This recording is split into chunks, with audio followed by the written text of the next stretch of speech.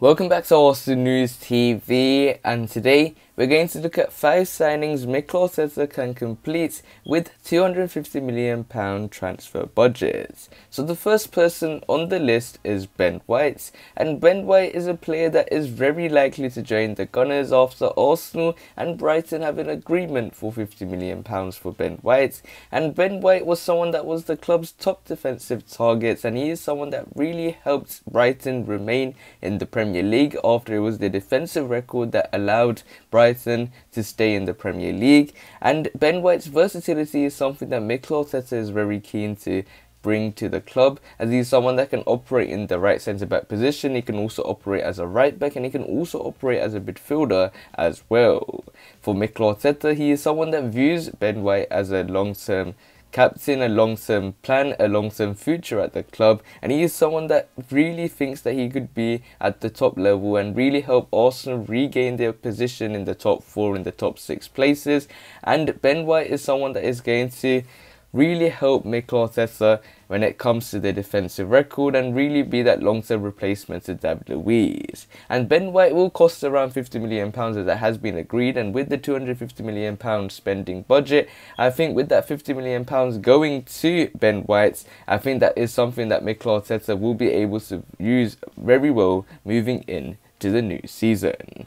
So the next person on the list is Max Aarons, and Max Aarons is someone that Mikel Arteta does identify as a Hector Bellerin replacement, and Hector Bellerin looks very likely to leave the club after it. It looks very likely that Inter Milan are very interested in signing Hector Bellerin as their Achraf Hakimi replacement, and Hector Bellerin could go in the region of 21 million pounds to Inter Milan. And Max Aarons is someone that has being seen as a priority target to fill those boots from Hector Bellerin, as he is someone that is very young, he's only 21 years old, and it's still been a surprise that no big club has made a move for Max Aarons, as he already has had one year of Premier League experience with Norwich City, and he's won two championship titles as well, as he now regains his position back into the Premier League with Norwich, and hopefully he will be able to impress further in the new season, but hopefully in different shirt in the form of Arsenal's. And Arsenal will need that replacement as they do look very short in that right back area because we still don't know where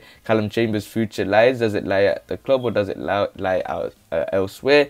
And when it comes to Cedric Soares, he's someone that's been more or less seen as the right back backup, as he was even very lightly being used as he was seen as the replacement to rather Calum Chambers at the understudy and the number two. So Max Aarons could be another addition for £25 million.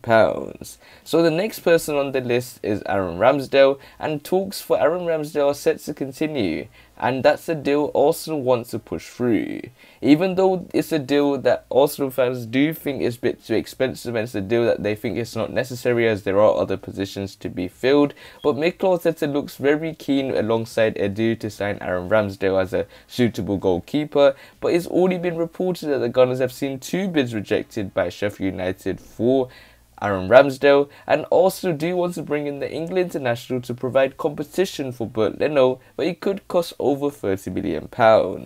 Aaron Ramsdale is someone that fills that goalkeeper position for Arsenal is the main reason because of his ability to be a homegrown player, and he's someone that could even challenge Bernd Leno because we still don't know where Bernd Leno's future lies. Does it lie at the club or does it lie elsewhere? Because there have been various, various reports suggesting Bernd Leno's future. Some say saying that it remains at the club, some saying that he will gain a new contract, some saying that he'll be leaving for a fee. So Bernd Leno for me is someone that Mikel Arteta does see as needing replacement, and he does see Aaron Ramsdale, someone that remember has been in two different clubs, and both those clubs have been relegated in Bournemouth and Sheffield United. But Mikel Arteta does want to sign him for over 30 million pounds.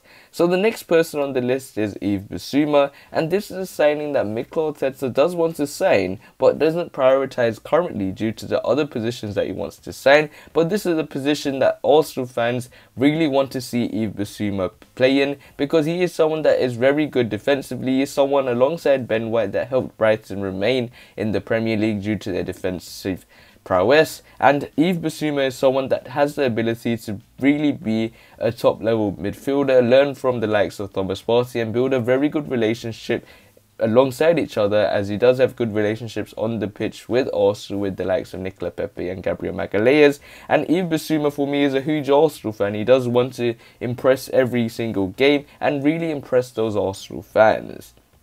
But Brighton may be reluctant to sell Yves Bissouma given the fact that they've already agreed a deal for Ben White in the region of £50 million.